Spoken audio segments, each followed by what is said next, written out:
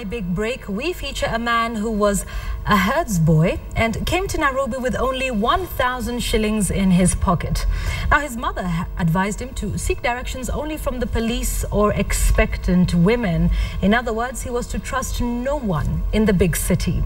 Several times he has found himself on the wrong side of the law, spending some nights in prison. He says he was fighting for the voiceless. He once lived in the Mukuru slums, but now brushes shoulders with the president at State House. By now, you know we're talking about Dennis Itumbi. Here is his story. Dennis Itumbi is just a villager who grew up uh, milking, learning how to milk cattle, learning how to plant his maize, took down my coffee, the, coffee, the family coffee for milling using cattle, cattle pulled carts. I'm just that guy next door in the village. When I came to Nairobi, by the way, I I, I, did not have a hostel in college, so I had to also negotiate with the college administration to give me a hostel. After college, we, together with um, a person who works for your station, KTN, Dennis Onsarigo, we spent in Mukuru sharing one room that we used to share a bathroom with eight other guys. So if you wake up as number eight, you have to book a room as number eight, and therefore you're late. We used to walk from South B to town to look for jobs to vary a kid, to at one time even up to all the way to Ngong Road Avenue 2 and 3.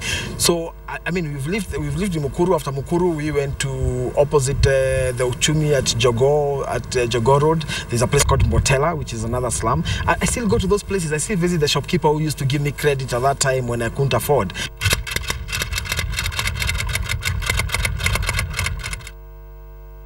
I did mass communication. I trained in investigative journalism. And then uh, I've also done some slight engineering uh, up to actually certificate level for engineering. And then after that, I did uh, I did specialized writing. I actually wanted to be a lawyer. I'm still going to study law. Actually, in the next one year, I'm enrolling for law.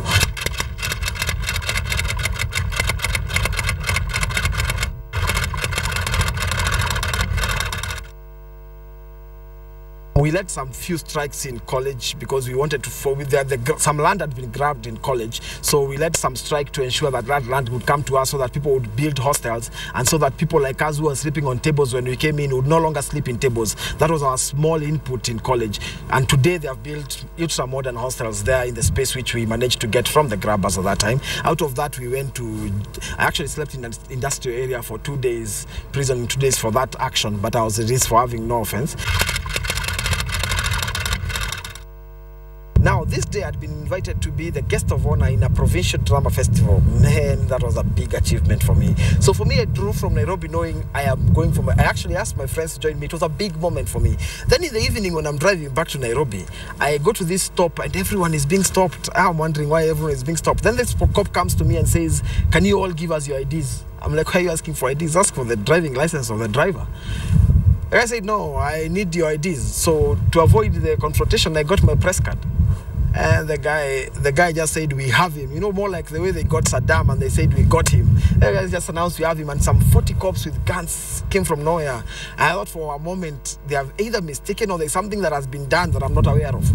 But anyway, they told me it's because of ICC and um, and uh, the revealing, the, uh, some documents that had gotten lost from the ICC.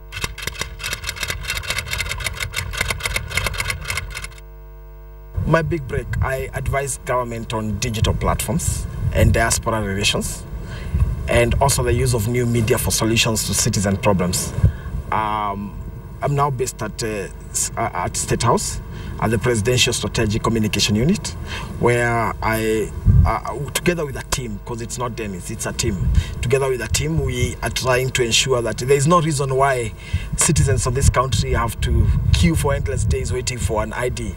I mean, government is a planned government. So if you're born, government knows you're born. They give you a birth certificate. So at 18, government should know whether you're dead, and therefore they should be able to show a death certificate. And at 18, they should know you're alive, and therefore you need an identity card.